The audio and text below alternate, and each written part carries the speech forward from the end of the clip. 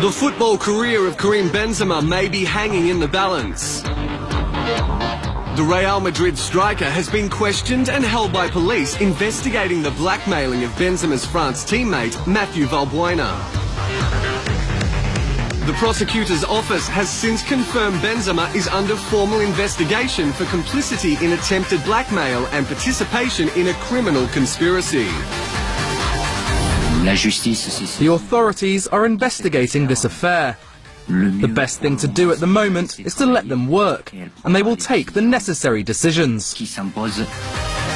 If charges are laid and Benzema eventually found guilty, he reportedly faces a minimum of five years in prison.